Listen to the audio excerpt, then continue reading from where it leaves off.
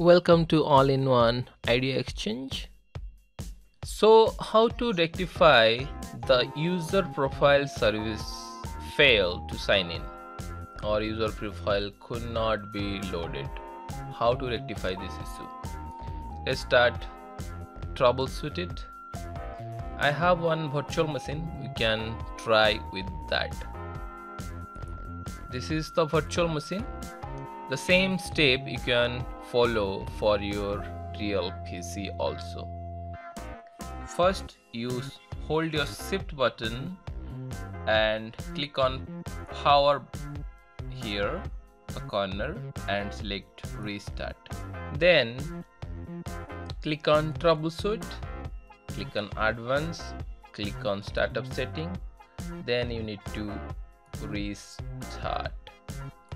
Here you can select 4 for the safe mode. Press 4.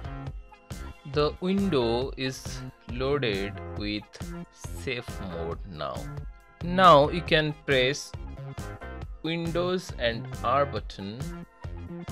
Here you can type regedit. Click on local machine, then software, then Microsoft then windows NT then you can select profile list.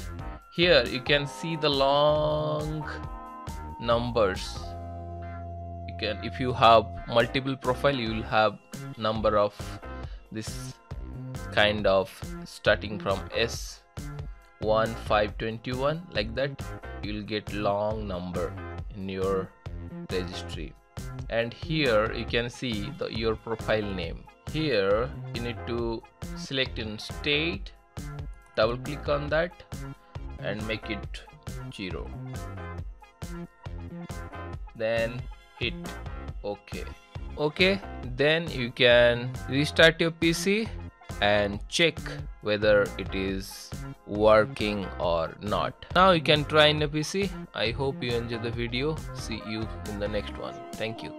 If you like it give a thumbs up to my video and comment and subscribe please. Thanks for watching